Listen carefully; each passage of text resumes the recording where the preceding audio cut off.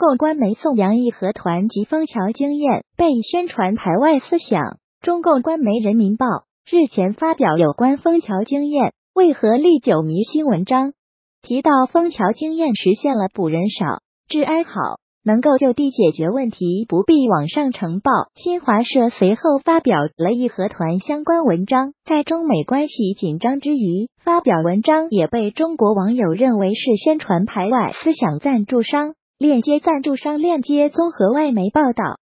枫桥经验起源于一九六零年代的浙江省诸暨县枫桥区，主张就地化解矛盾，坚持矛盾不善交。近期，《人民报》记者采访发源地浙江时，指出它的内涵在新时代更加丰富，从维护治安进阶到防范社会的任何安全风险。《人民报》的文章中说明，浙江省如今划分成七点零八万个网格安全责任区，每个网格皆配有一名专员及各种职责屋一身，全面取代各类村级协辅人员，透过全科网格实现小事不出村。大事不出镇，微事不出格。赞助商链接，赞助商链接。新华社也发表民族意识觉醒，义和团反帝爱国运动一文，写道：义和团先是反对帝国主义侵略，在壮大组织后，将矛头指向外国强权，与八国联军抗争，展现了百年前中国民众团结御侮的决心。文章在中国各大网络上